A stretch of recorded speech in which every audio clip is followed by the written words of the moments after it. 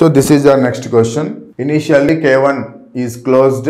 Now if K2 is also closed, find the heat dissipated in the resistance of connecting wires. Right, okay. Let's see this is our diagram. So here key K1 is there here as well as the key K2 also is there here. Key K1 is there and key K2 is there. So initially has been closed only key K1. If only key K1 is closed then what will happen? Only this wire will be in connection only this wire will be in connection.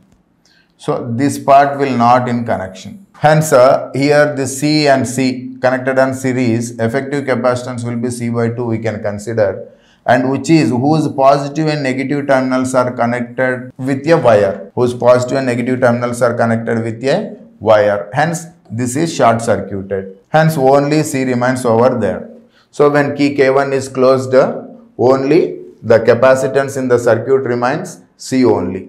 With that, the energy U1 I am considering produces over there of C V square. When key K1 is closed, then the energy produced will be of of C V square we can consider. Now if K2 is also closed, now consider if K2 is closed. K2 is closed and K1 is also closed. Now what will happen? Then this entire circuit will be in connection. So all the capacitors in be in connection now, will be in connection. So now what will be the effective capacitance?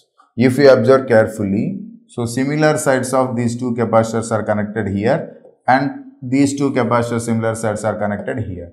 That means these two are in parallel. When these two are in parallel, the effective capacitance will be 2C you can consider. Here this is in 2C, effective capacitance is 2C and this is in series with this 2C. So 2C and C are in series. Whenever this 2C and C are in series, their effective capacitance will be 2C by 3. 2C and C are in series, the effective capacitance will be 2C by 3 you can consider.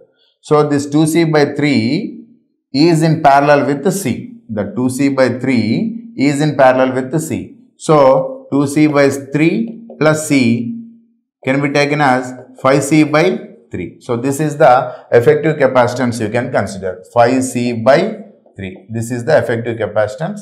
Then the energy associated with this 5C by 3 capacitor is U2 is equals to of 5C by 3 V square that is equals to 5C by 6 V square you can consider.